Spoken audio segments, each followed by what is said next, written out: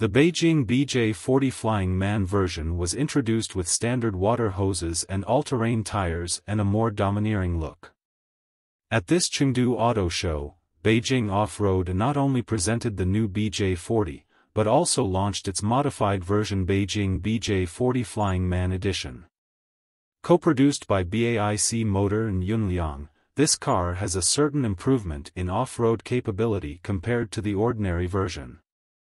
From the photos of the actual car, it can be seen that the car not only used special blue paint and garland decoration, but also added many skin kits including front-slash-rear bumpers, four-wheel wheel eyebrows and door handles.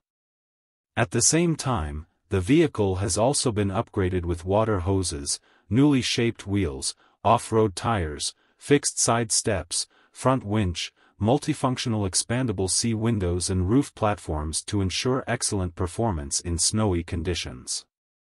In addition to the previously introduced snow model of the new BJ40 Flying Man edition, there are light sockets, etc., to better adapt to the desert environment. It is worth noting that there is also a desert model. In addition, the car's chassis and suspension have been upgraded.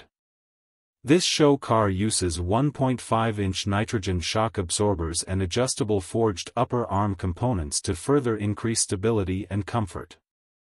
As for the power part, the power of this Beijing BJ40 Flying Man edition is expected to be the same as the regular version, but the detailed power parameters have not been officially announced yet.